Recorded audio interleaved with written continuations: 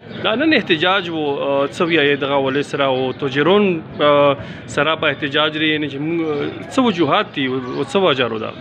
نن احتجاج د انجمن تاجران د پلیټ فارم نه مخاله د ټولو ډیسټریکټ باراج کومه څوره مشران دي هغه هم کې احتجاج کې صدر دي او خو پاکستان د انجمن تاجران پلیټفارم د مخه دا احتجاج دی چې موږ باندې ټیمې ټیکسونه لګولې دي هغه بغیر به مشورې بغیر به ټریډر نه مشورې ټیکسونه لګولې دي هغه په ظلم سره په زور زبردستۍ سره ټیکسونه خلی د دې وجه نه دکانداران احتجاج کوي چې یاره موږ دغه ټیکس ته جوګا نه یو موږ سره سهولت نشته دی نه څه فلټر شته نه بازار کې موږ له اوبه مینويږي نه سره یو د یو شي سهولت دوکاندار ته نشته دی کوم مارکیټونه ویران شوي وو هغې نه موضع ملاو شوې وه دوکاندارانو ته نه موضع ملاو شوه لس کاله بازار بند شوی و په لس کاله کېږي په سلو دوکاندارانو ته که چې تا یو لک یو نیم لک یا دوه لک روپۍ به یې ورکړي سل خو دس هزار دوکانونه باړه کې وو مکمل مارکیټونه تباه دي په خپل مدد سره خل لګیا دي بازار آبادوي الټا دومونه الټا ټکسونه غواړي ناجایز ټکسونه غواړي دا چې په دوه هزار انتیس تیس پر خواسم په فټه باندې ټیکس نشته دی دا چې موږ له حکومت نه موږ دا اپیل کوو چې دا کوم احتجاج دی د دې د وجه نه د احتجاج دی چې موږ سره دا ظلم نه کیږي دا ټیکس ته من نه نشي اخسته بقایا حکومت نه مو اپیل دی چې دا دا ټیکس ته زر در زر ختم کی چې دا دکانداران خپل رزګار روان کی مو ټیکس منو عین منو قانون منو خو ته قانون د ایران لاندې چی مونږ ته خون څه ملاو شی څه خو وګورو کنه څه کاروبار وکړو خل راوتلی دی بازار کې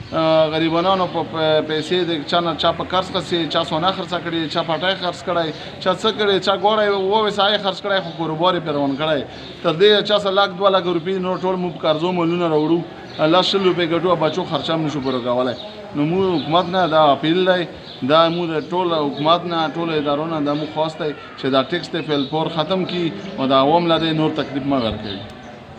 دا نن چې کم احتجاج وته دی دا د ټي ایم ای ولا چې کم ټیکسونه په دا هلوکا باندې د بوړې په بازوګ باندې لاګو کړی دي چې په ګوډیو باندې لاګو کړی دي په دې کونینو باندې لاګو کړی دي هیڅ قسم لا سہولت یې بازوګ لنه وکړای نکاسې باندې ته وساتېږي همدغه شونتې د کونینو لا په بغونو کې وبنه نوځي پرون هم دوه دیکونونه راغورځېدلي دي او څلور پنځه ورځې مخکې هم پنځه دیکونونه راغورځېدلي دي خو دغه شان چې ټولې انعکاسیې بند دي دا کم بوټي چې په بازار کې په روډ باندې دي دغو له ټي ایم اې والا اوبه نه شي ورکولی کوم چې سټرټلایز سیسټم دی دا لیټونه په بازار کې دم ټول خراب شوي دي دغه شان چې په جنګلاتو باندې جنګلاتو والا چې کوم دي په دا علاقه باندې چې څونه لاګو کړي دي هیڅ قسم د سہولت دلته کې نشته دی او دنه علاوه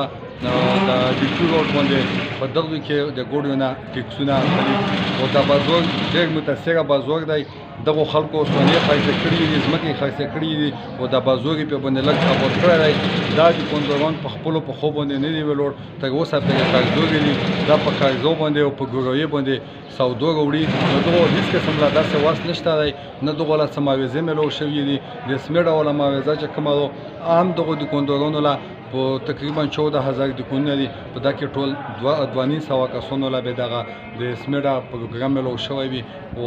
د بقایا دکانداران چې کوم دي دا ډېر کمزوري دي نو دغه